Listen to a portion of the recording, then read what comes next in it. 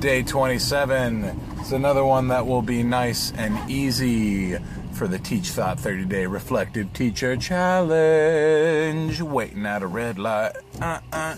Waiting at a red light. Dance moves. Uh, what role do weekends and holidays play in my teaching? And this is uh, this is something I really want to talk about because I'll get all the time from people. Well, not all the time as much from people I know because I mostly shot them down for it. But every once in a while I'll get like, ooh, I wish I had every single holiday off. Must be nice.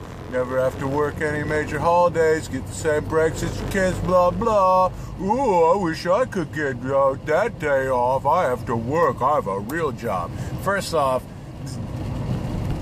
censor myself, you buddy. That's just not even true.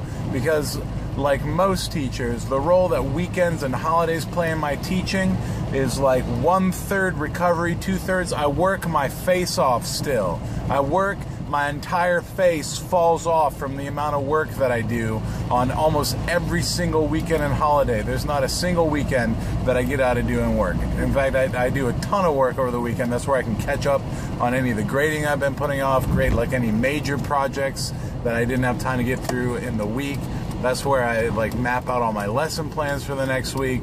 I mean, that's yeah. Holidays are the same thing. Just a ton of grading. That's where I can really look at the labs that I do and really work on perfecting what I do in the classroom. So the role that holidays play in my teaching is I pretty much work for the school district for free, like most other teachers do. You're welcome. Thanks for watching, everybody. That was a little bit angrier version of the vlog than I was anticipating for uh, day whatever I said at the beginning of the video, 27, I think. Thanks for watching.